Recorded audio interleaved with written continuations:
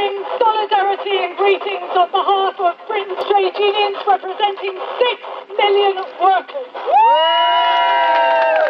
We're sending solidarity to everybody here. I want to thank each and every one of you for turning out today because together we are sending our solidarity to our brothers and sisters in Turkey, to trade unionists, to protesters, to the people of Turkey who are exercising their rights, their basic human rights to protest.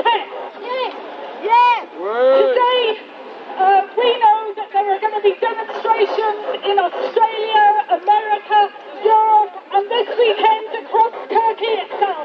And all of us are saying we will not be silenced.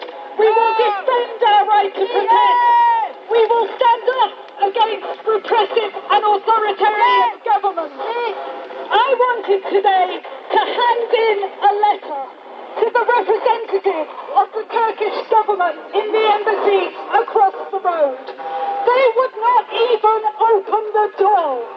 I say, shame! Shame! Shame!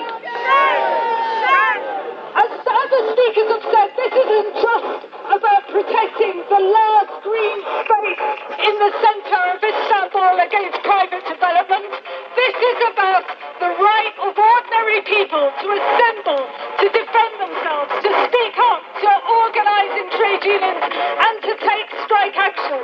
So I want to say today, end the violence, end the repression, end the sacking of strikers, defend workers' rights, and release all of those held in prison for exercising their basic fundamental right to protest.